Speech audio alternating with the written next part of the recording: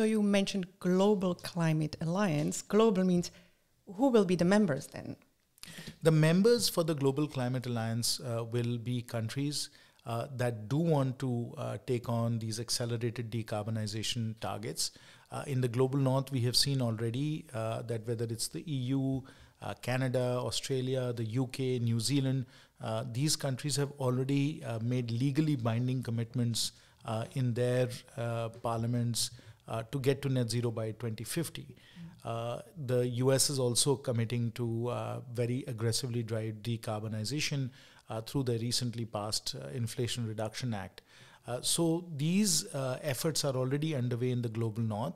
And so we would expect global north countries to be members of a global climate alliance mm-hmm. because that will be a motivation and an incentive for members of the global south as well. But equally, we would like members of the global south to be a part of this alliance so that they can also benefit uh, from the support of the global north in this. And we have a very, very important opportunity to accelerate all these discussions, Karin, because India is going to be assuming the G20 presidency uh, in December of this year. Mm-hmm. And through that uh, uh, presidency, we have an opportunity to put forward a proposal for a global climate alliance, building on the work that Germany did when it was the G7 uh, president uh, and where they introduced this idea of an open and inclusive climate club, uh, we could take forward that proposal, that thinking, uh, and bring it, uh, you know, to the G20 and really make it a platform for countries that want to accelerate their decarbonization efforts. Motivation element. Is there motivation element within the how you will convince the member states to come? Well, there has to be uh, a strong set of incentives mm-hmm. uh, for the global south to be a member of such a global climate alliance. As I said, most countries in the global north have already made commitments and are making very substantial investments to decarbonize. The challenge for the global south is that even though net zero is net positive and it is better for them, whether we look at it in terms of GDP, jobs, air pollution, dependency on fossil fuels, any parameter that we look at uh, it is actually better for us to move towards net zero. But it requires very substantial amounts of capital, well beyond uh, the mobilization capabilities of the global south. And it requires uh, a host of new technologies, whether they are battery technologies, uh, whether they are uh, green hydrogen technologies, biofuel technologies, all of these new technologies are going to be required to get onto the decarbonization pathway. So the incentive for the members of the global south is that they will get the support of the global north uh, to decarbonize. So that really becomes, in a way, uh, the, the, the, the, quid pro quo uh, that this climate alliance uh, will, will try and set up. Uh, the global north uh, will provide support, financial, technology, policy support, all of these ways in which they can support the global south. The global south will benefit from that support, and in, and in, in, in turn, the global south will commit to much more aggressive decarbonization targets than they would have otherwise. So that's why people will join. The global north will join because we all know that a world that gets to net zero makes us much safer and prevents the disastrous impact of climate change. And of course, the global south benefits because uh, there's faster GDP growth, there's more job creation, there's less air pollution, and we get the support uh, from a capital perspective, from a technology perspective, and a policy perspective from the global north. So it's a win win win. The north wins, the south wins, and the planet wins. And most importantly, Karin, our children win because, exactly. because we are able to uh, pre- uh, prevent. Uh, you know, global warming to exceed, you know, one and a half, two degrees centigrade, which is what we all agreed to during the Paris Agreement.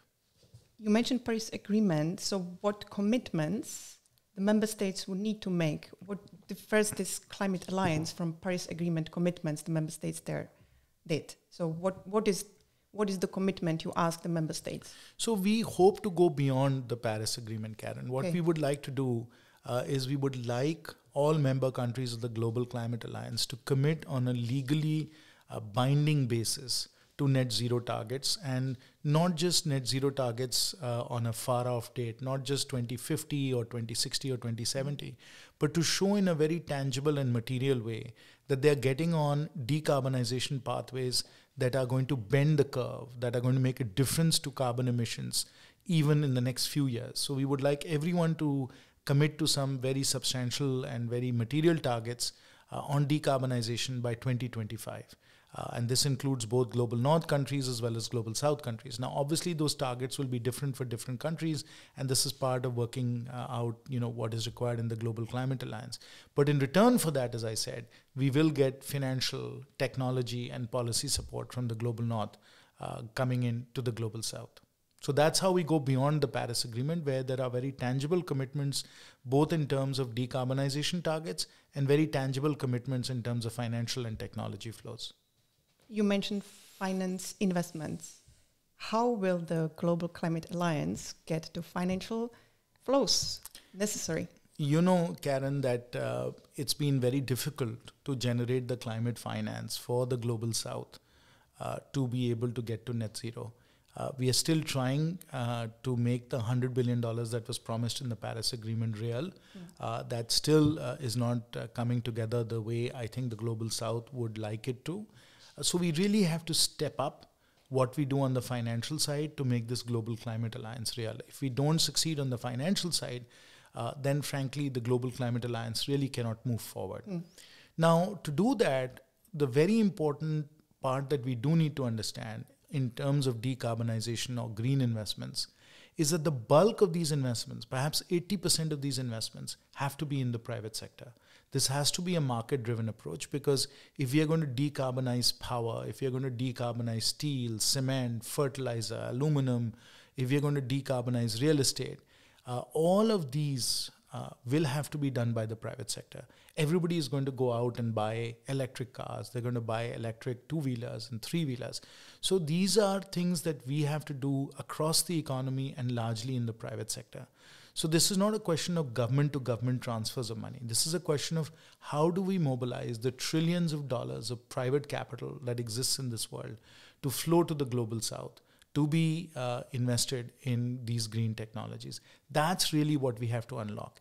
And here, the role of the multilateral development banks, the IFC, the World Bank, uh, the European Investment Bank, the Asian Development Bank, this is very, very important because they can help in reducing some of the risks, some of the problems uh, that private capital deals with uh, when they are operating uh, in developing countries, in low-income countries, and by applying, you know, blended capital instruments like first loss guarantees, like climate insurance, uh, like uh, credit guarantees of various kinds, it is possible to reduce the risks that the private sector or commercial capital has to deal with, and in doing so, you reduce the cost of capital for green investments. So today, if I had to make a green investment uh, in India, uh, you know, it might cost me 12% uh, as a rate of return to make a green investment.